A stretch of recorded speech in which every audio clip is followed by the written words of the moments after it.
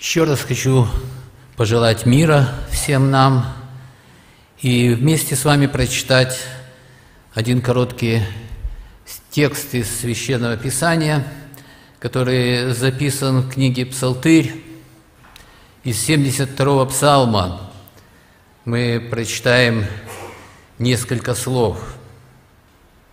Это псалом Асафа, псалом знаменитого псалмопевца, служителя Божьего.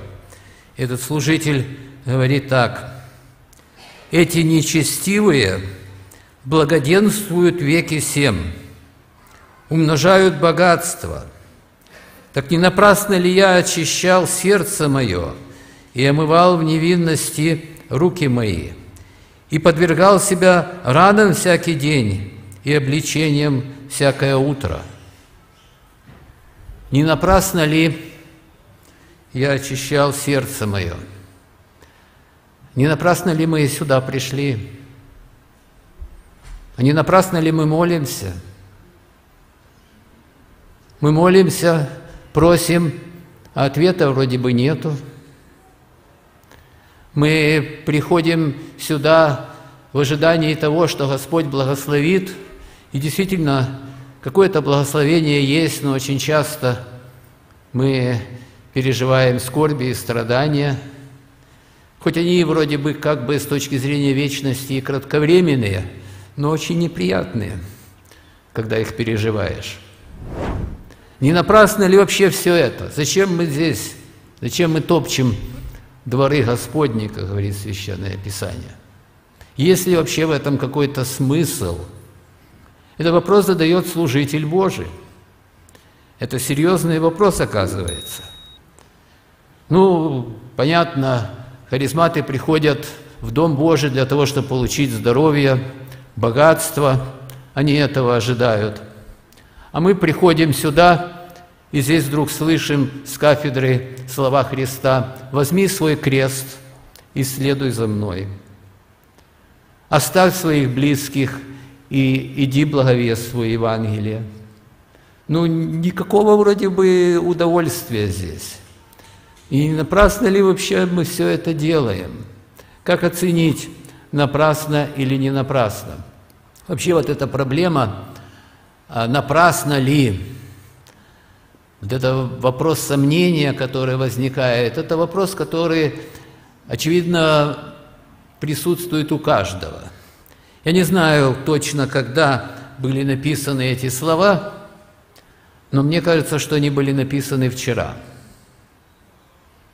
Они действительно написаны вчера, они написаны сегодня, потому что люди начинают сомневаться, сомневаться в том, что вот то, что они делают, это приносит какой-то результат, это кому-то нужно, это мне нужно ли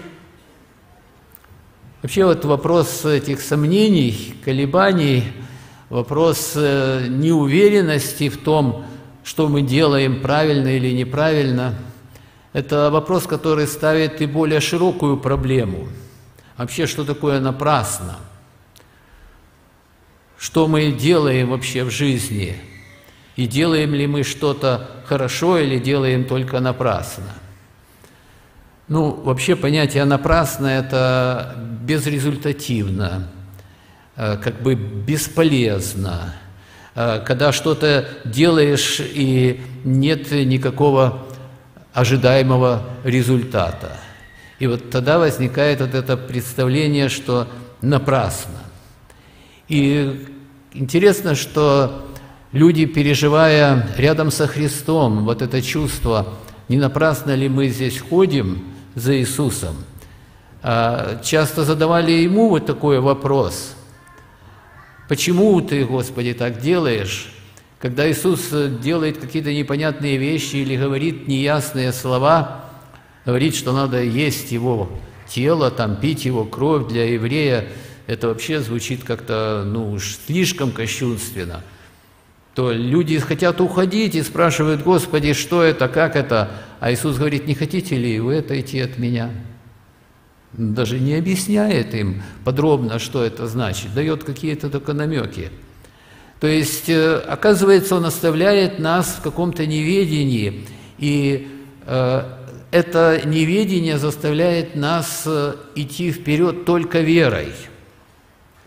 Фактически у нас часто нет ясных подтверждений того, напрасно мы делаем что-то или не напрасно. Один э, э, брат мне говорил, что э, я, говорит, уже больше десяти лет молюсь о своей теще, чтобы ее характер изменился. Ну и как? Я спрашиваю, напрасно. Ничего не меняется. То есть это, конечно, такой бытовой пример, но это то, с чем мы очень часто сталкиваемся. Вроде бы мы что-то делаем, а какого-то особого результата не видно. И вообще человек не может э, делать что-то, если он не видит результата. Это очень трудно. Это по сути дела, невозможно, потому что человеку нужна осмысленность в действиях. Он должен понимать, зачем он это делает. А иначе э, теряется всякий интерес к работе, теряется энтузиазм, собственно, опускаются руки, если не понимаешь, зачем ты это делаешь. Нужна осмысленность. И э, в этом смысле, мне кажется, что э, очень интересным является старинный э, греческий миф, э, уже даже в поговорку вошло это представление «Сизифов труд», то есть напрасный, бесполезный труд. Этот старый греческий миф рассказывает об одном э, человеке по имени Сизиф, кстати, он был э, князем или царем, можно сказать, Каринфа, того самого Каринфа, э, которому Павел писал послание, которое мы сегодня слышали – и вот этот Сизиф был первым хитрецом. Гомер рассказывает, что это первый грек, который начал хитрить, изворачиваться и поступать неправильно. Для своей корысти, конечно. Ну, я не буду рассказывать, там очень много интересных историй, как он всех обманывал, даже богов обманывал, даже смерть сумел обмануть, как рассказывает Гомер. И за это боги решили его наказать. Ну, как наказать? Надо посильнее наказание было придумать.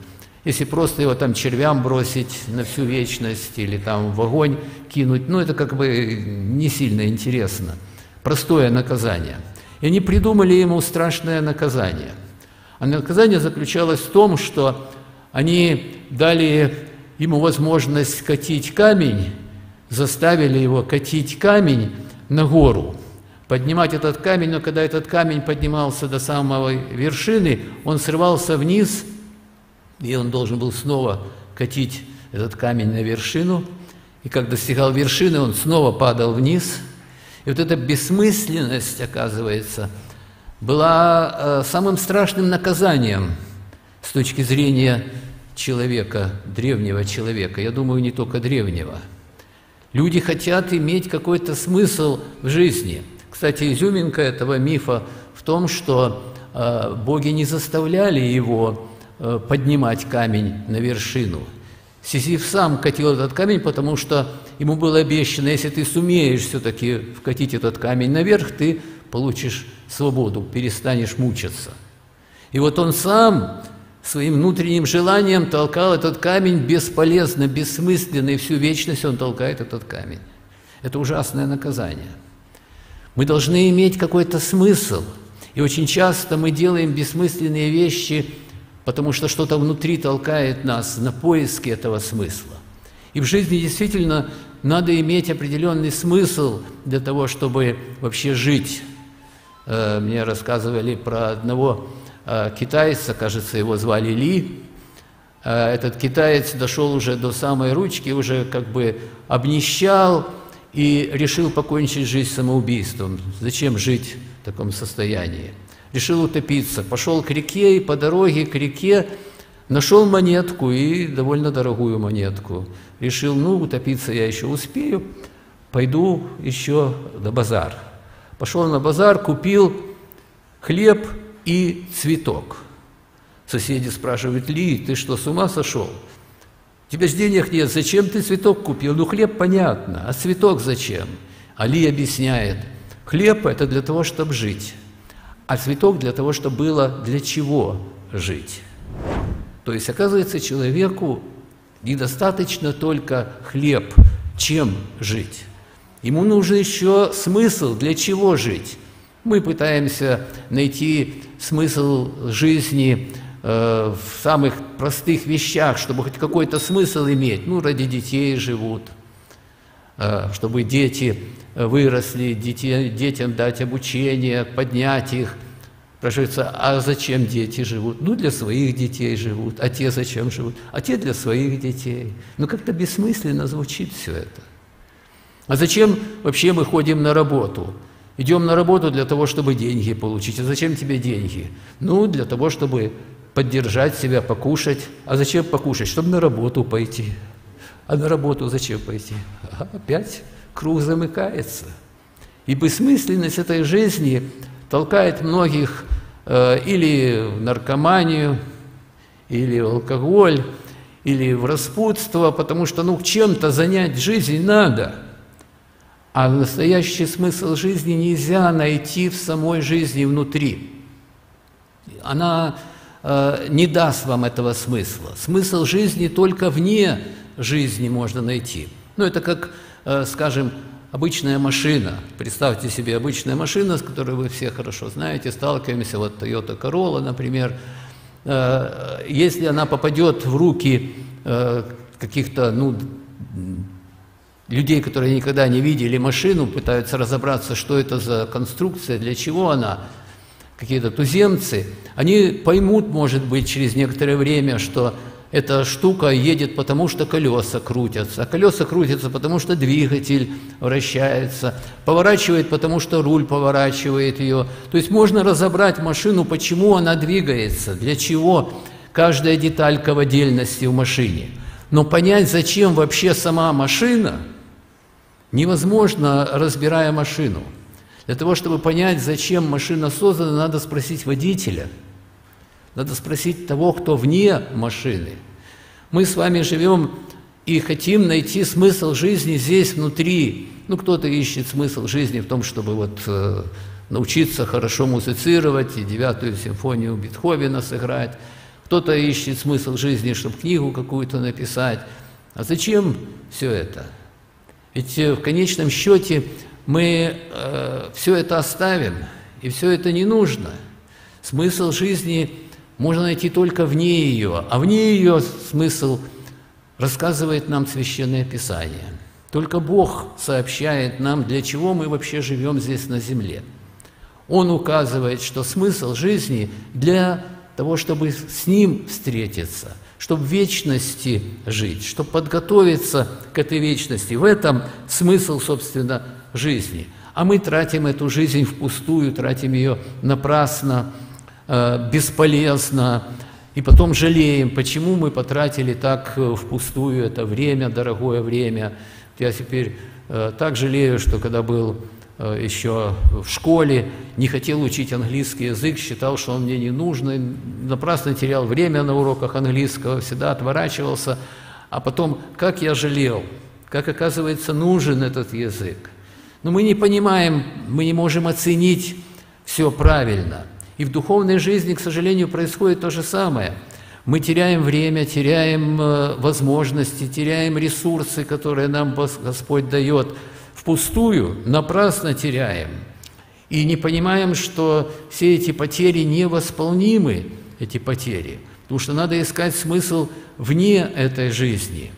Ну, вот Священное Писание рассказывает про одного бизнесмена, э, фермера, который имел э, очень хорошее хозяйство, трудился, много трудился, и однажды ему Господь дал очень большой урожай – и вот он уже решил, что все, я уже натрудился достаточно, сломаю все свои зернохранилища, построю новое, а Бог говорит ему, безумный, сию ночь душу твою возьмут у тебя, кому же достанется то, что ты заготовил? Так бывает с каждым, кто собирает сокровища для себя, а не в Бога богатеет.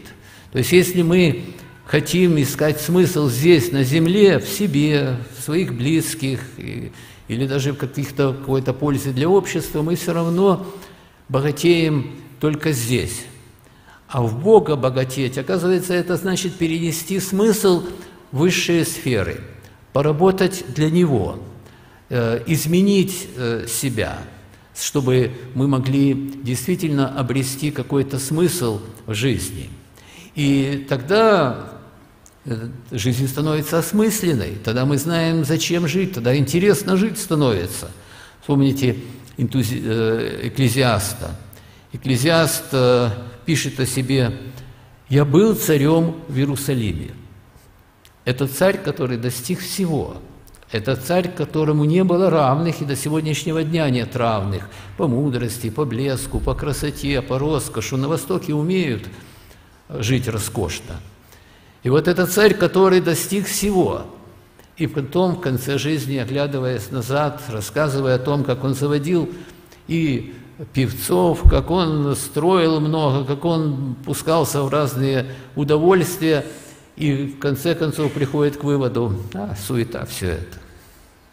А если э, говорить другими словами, может быть, более точное выражение подыскать, то считав все это, напрасленно все это. То есть все это не имеет смысла, потому что все это здесь остается только на земле. И нет э, того смысла, который по-настоящему наполняет человека. А люди, к сожалению, любят э, тратить жизнь бессмысленно, напрасно тратить. Один мой э, знакомый психолог э, написал очень интересные советы, как потратить жизнь напрасно. Он написал семь советов, как потратить жизнь напрасно. Я вам их прочитаю, потому что многие, к сожалению, хотят воспользоваться этими советами. Первый совет его – откажитесь от Бога, не думайте о вечности, никому и ничему не верьте. Второй совет – делайте людям больно, любите только себя и никого другого, так спокойнее. Прославляйтесь плохими поступками. Третий совет – никакого самоанализа. Не позволяйте себя критиковать, ведь вы всегда правы. Осуждайте всех, жалуйтесь на все – Гоняйтесь за деньгами, врите людям, врите себе, унижайте всех окружающих, носите маску, притворяйтесь. Пятый совет. Откажитесь от друзей, заводите побольше врагов, собирайте обиды и постоянно мстите. Шестой совет. Обещайте, но никогда не выполняйте. Убегайте постоянно от ответственности, от работы, от любимого человека. Убегайте, пока убегать будет уже некуда. И последний, седьмой совет. Не читайте книг, живите на автопилоте, не думайте, смотрите только ТикТок. Если будете следовать этим советам, вы проведете жизнь абсолютно напрасно. Это гарантия. Люди, к сожалению, следуют таким советам и проводят жизнь действительно абсолютно напрасно, потому что они не имеют смысла и не хотят его найти. А, Асав тоже заколебался в своих э, упованиях, в, своем, в своей вере, в своей надежде, и думает, ну зачем я все это здесь делаю, зачем это я пою, зачем я молюсь? И вот э, дальше он говорит, «Доколе не вошел я во святилище и не разумел конца их, вот этих нечестивых, в 17 стихе 40, 72 псалма он пишет, и, и рассказывает, когда он увидел во святилище конец всех этих нечестивцев. «Так, на скользких путях поставил ты их, и не свергнешь их в пропасти. Как нечаянно пришли они в разорение, исчезли, погибли от ужасов, как сновидение по пробуждению, так ты, Господи, пробудив их, уничтожишь мечты их». То есть, э, оказывается, надо посмотреть дальше – если мы хотим увидеть э, результат, увидеть, напрасно мы делаем что-то или не напрасно, надо смотреть не на сегодняшний день, а смотреть немножечко вперед. Ну, э, вот есть, наверное, известная хорошо вам басня про коня и хозяина на поле. Э, этот э, хозяин привез на поле целую телегу пшеницы. И конь так радовался и думал, что вот как можно хорошо покушать, какое хорошее э, питание у меня и будет. А хозяин вместо того, чтобы использовать эту пшеницу, казалось бы, по назначению накормить коня, он начинает разбрасывать ее в землю. Выбросил всю пшеницу, и конь думает, ну какой неразумный, ну как напрасно он выбросил всю эту пшеницу в землю. Но хозяин знает, что пшеница вырастет и даст плод. Конь этого не понял и не знает. Очень часто мы похожи на этого коня, который смотрит только на ближайшую несколько шагов, не видит перспективы, не видит дальше за горизонт нашей жизни. А почему так происходит? А очень простая причина. Оказывается, наша греховная плоть не позволяет нам видеть Бога, не позволяет нам видеть вечность, не позволяет видеть дальше. Мы из-за вот этого греховного начала видим только материальный мир, видим только то, что доступно для нашей плоти. И э, для того, чтобы начать видеть дальше и понимать, напрасно или не напрасно я что-то делаю, для этого, оказывается, надо прежде всего снять пелену греха с глаз – надо покаяться, надо обратиться к Богу, надо прийти к Нему с глубоким раскаянием для того, чтобы Он очистил, чтобы Он дал чистый взгляд, чтобы мы могли действительно по-настоящему смотреть и видеть, а что мы делаем, напрасно мы что-то делаем или не напрасно мы что-то делаем. Это вопрос, э, во-первых, обращения к Богу. И если только человек обратился, вот тогда он обретает смысл для жизни своей.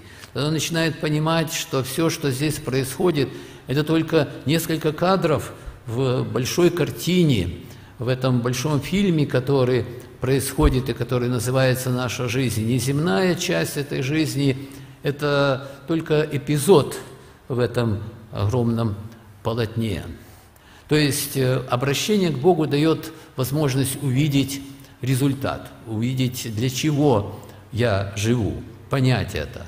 Но для нас, для верующих, которые уже тоже э, пошли за Господом, которые обратились, имеют э, смысл жизни, вопрос, э, напрасно ли я поступаю или нет, очень часто все равно остается. И это правильный вопрос. Потому что мы с вами живем здесь на земле, мы что-то делаем – какие-то проекты делаем, где-то э, что-то работаем. И часто возникает вопрос, а напрасно ли мы это делаем или не напрасно. Вот э, апостол Павел, например, рассказывает о себе в послании Галатам, он об этом пишет во второй главе, что когда он обратился к Богу, он обратился в Дамаск, как вы знаете, и он стал сразу проповедовать. Он стал сразу проповедовать о Христе, рассказывать о том, насколько э, он заблуждался раньше. И проповедовал он не один день и не один год. Он проповедует, говорит э, Павел, 14 лет я проповедовал. А потом только через 14 лет, как он пишет в послании к Галатам, он идет по откровению Э, в Иерусалим. То есть Господь дал ему какое-то какое указание. Он пишет, вторая глава послания Галатам, первый стих. «Через 14 лет опять ходил я в Иерусалим с Варнавой, взяв с собой и Тита, ходил же по откровению, и предложил там и особо знаменитейшим благовествование, проповедуемое мною язычникам, не напрасно ли я подвязаюсь или подвязался?» Это Павел пишет. Это не просто обычный какой-то там э, проповедник Иван Иванович, а это пишет апостол Павел, хотя э, Иоанн Златоуст очень метко заметил, хоть он и Павел, но все же человеком был. То есть он тоже испытывал такие же сомнения и такие же чувства, как и мы с вами. И он тоже сомневался, а правильно ли он проповедует. То ли он говорит Богу, то ли он говорит людям. И эти сомнения он развеял, развеял через общение с братьями, через контакты с другими людьми, которые подтвердили, которые удостоверили, что действительно он правильно действует. Мы с вами тоже должны все время проверять все то, что мы делаем, насколько это правильно, насколько мы точно выполняем указания Божии. И хорошо, если мы действительно проверяем это. Знаете, этот Павел во втором посла... Э, первом, простите, в первом послании Коринфянам, в 15 главе, э, говорит э, о Евангелии, которое я проповедую вам, которое вы приняли, которым вы спасаетесь, пишет он, если нечетно уверовали. Вот он говорит о том, что можно уверовать тщетно. Верующие люди уже, которые вроде получили смысл жизни, которые понимают, что такое Э, жизнь, для чего она дана, кто такой Христос, и все-таки, оказывается, могут тщетно уверовать. А почему тщетно уверовать? И дальше он объясняет, собственно, вся 15 глава как раз посвящена вот этому объяснению. Он говорит, что если вы надеетесь только в этой жизни на Христа, то вы тщетно уверовали. Есть воскресение мертвых, и видеть надо то, что будет дальше, то, что будет потом. И если вы не верите в воскресение мертвых, если не принимаете целостное Евангелие таким, как оно есть, то вы тщетно уверовали. Тщетно – это значит напрасно, впустую. Это же страшно. Ходить 20-30 лет в дом молитвы, петь, молиться, а потом оказаться, что это тщетно, напрасно. А почему тщетно? Да не точно верили, не так поступали, не так жили – и насколько печально будет тем людям, которые вот так жили и с тщетной верой, когда они окажутся перед воротами Царства Небесного и увидят себя изгоняемых вон, как говорил Христос о некоторых людях. То есть э, очень важно проверять себя, не напрасно ли я здесь, не напрасно ли я хожу. Объективно говоря, не напрасно. Все, кто по-настоящему уверовал во Христа, те абсолютно не напрасно тратят время, вместо того, чтобы в воскресенье идти куда-то гулять, отдыхать или спать, они приходят на собрание, они вкладывают свои усилия, финансы вкладывают. Для чего? Оказывается, для того, чтобы потом не напрасно жить, для того, чтобы жизнь была осмысленной уже здесь, на земле, и для того, чтобы иметь смысл после смерти, вечности. И э, вот эта вторая часть очень важна э, для того, чтобы мы могли посмотреть на свои дела уже как людей верующих. Действительно ли мы делаем правильно то, что мы делаем? Это вопрос, который должен быть постоянно перед нами, мы должны все время проверять. Не просто по инерции делать, ну вот э, просто приходим сюда и просто сидим здесь, потому что, ну, принято так делать. Может быть, э, Господь желает, чтобы мы что-то сделали другое, чтобы мы э, отправились с благой вестью, может быть, для того, чтобы выполнить какое-то поручение Божье необходимо. Мы должны проверить себя, то ли мы делаем, что надо делать. И хорошо, когда после этой проверки мы убеждаемся, что да, Господи, мы действительно идем правильно. Наша вера действительно не напрасна. Наши молитвы принесут результат, но не всегда он виден здесь и сейчас. И вот э, вера, надежда – это те качества, которые помогают нам преодолеть сомнения и правильно оценить, не просто слепо верить то, что конце концов все будет хорошо. Нет, не для всех все будет хорошо. Будет хорошо только для тех, которые приняли Христа, которые жили в соответствии с Его Словом, поступали правильно в соответствии с Его Евангелием. Вот для тех действительно все будет хорошо, и жизнь, оказывается, для них не напрасна. Дал бы Господь нам жить не напрасно на этой земле, а жить для славы Божией – для того, чтобы Ему была постоянная хвала, нашему Богу, Отцу, Сыну и Духу Святому. Аминь. Помолимся Господу.